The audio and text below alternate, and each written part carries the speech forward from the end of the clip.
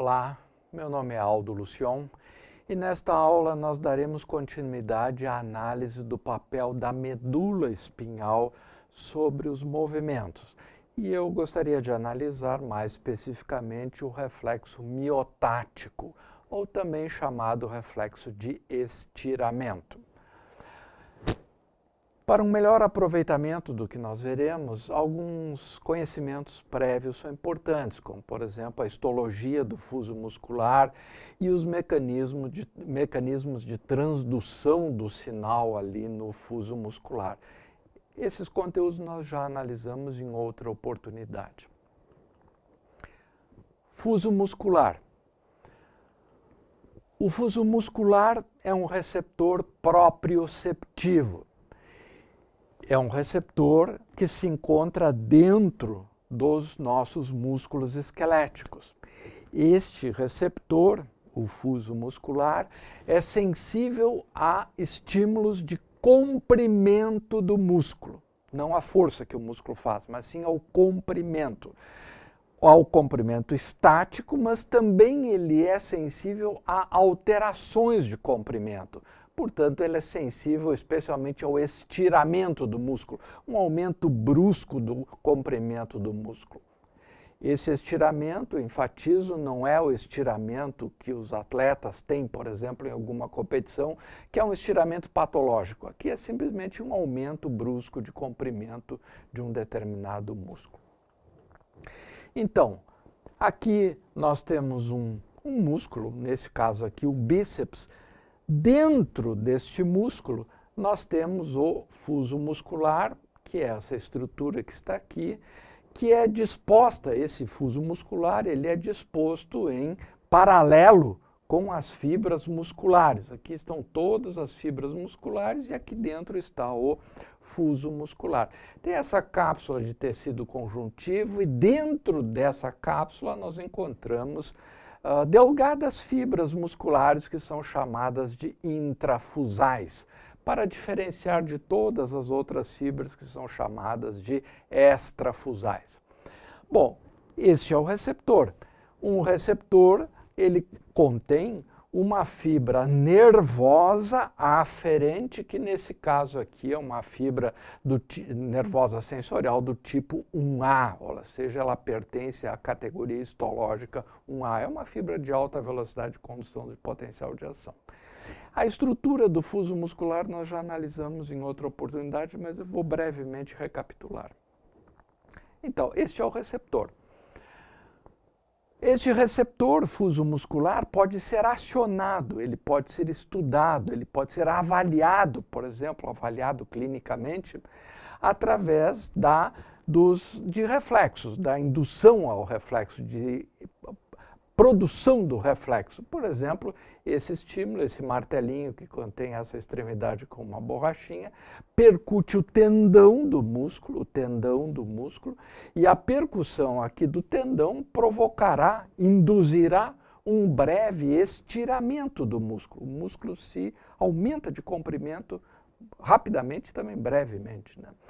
Então, enfatizo, o receptor fuso muscular está aqui dentro do músculo. O estímulo é a percussão do tendão que provoca esse aumento de comprimento do músculo. Esse estiramento do fuso muscular, que está aqui dentro do, do, da massa muscular, gera um sinal, um sinal sensorial que é conduzido por essa fibra do tipo 1A, como nós vimos ali antes, faz sinapse aqui na medula espinhal, que é uma parte lá do nosso sistema nervoso central, faz sinapse com esse motoneurônio alfa, neurônio motor alfa, que por sua vez uh, se projeta para o próprio músculo onde foi gerado o sinal, estimulando esse músculo. Portanto, nós temos um estímulo, que é um breve aumento de comprimento do músculo, a resposta do músculo é encurtamento, é contração muscular. É claramente uma resposta de feedback, né? ou seja, um mecanismo de retroalimentação. Um aumento de comprimento leva a uma redução reflexa deste comprimento. Esse é o reflexo miotático, aqui no caso específico é chamado reflexo patelar, porque o estímulo é dado nesta região aqui. Agora, na nossa vida diária, este, esse sistema funciona constantemente, ou seja, não apenas ele passa a ser estimulado com um martelinho lá que a gente percute o tendão. Na nossa vida, ele sempre funciona esse sistema. Por exemplo, aqui nós temos uma pessoa, aqui nós estamos analisando daí o braço dessa pessoa, que está o braço, o antebraço, lá está a mão segurando uma caneca. E aqui nós temos os neurônios que inervam esses músculos. Então, aqui nesta cor, em vermelho, estão os neurônios motores, né, as fibras nervosas motoras, e aqui nessa outra fibra aqui em azul é a fibra nervosa aferente sensorial. Então aqui está o fuso muscular e aqui a fibra nervosa sensorial. Bom, nós temos essa situação. Essa é a postura desejada por essa pessoa dona desse sistema. Manter essa caneca naquela posição em que ela está ali. Mas o que acontece com muita frequência, alguém derrama um líquido dentro dessa, dessa, dessa, dessa caneca e, portanto, o peso dela aumenta.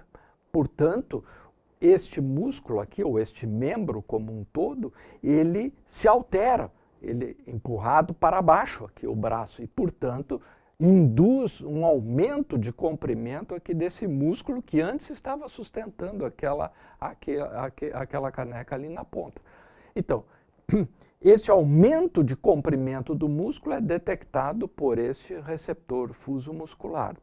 Enfatizo, o fuso muscular é um receptor proprioceptivo que sinaliza, que detecta comprimento do músculo. Não, há, não o peso a que o músculo está submetido, mas sim o comprimento.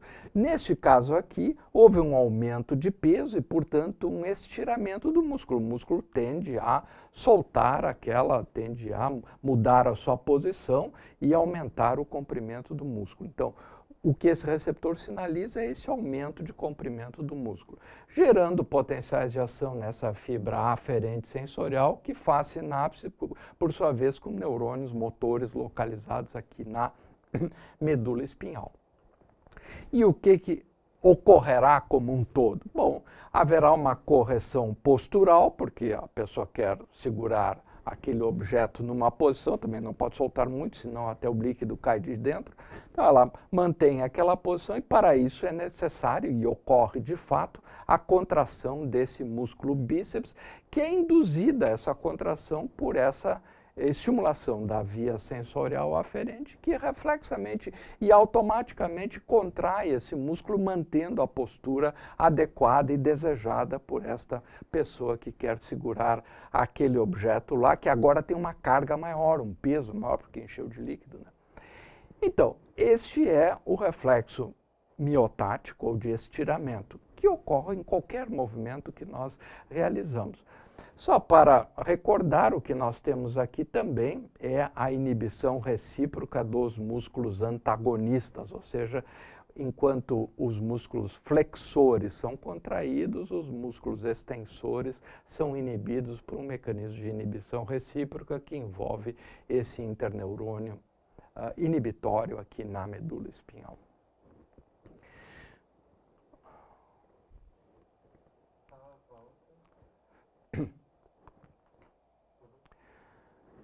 Como resumo desta aula, eu gostaria de destacar que o fuso muscular é um receptor proprioceptivo, que ele está localizado dentro dos músculos esqueléticos. O fuso muscular é o receptor do reflexo miotático, ou também chamado reflexo de estiramento.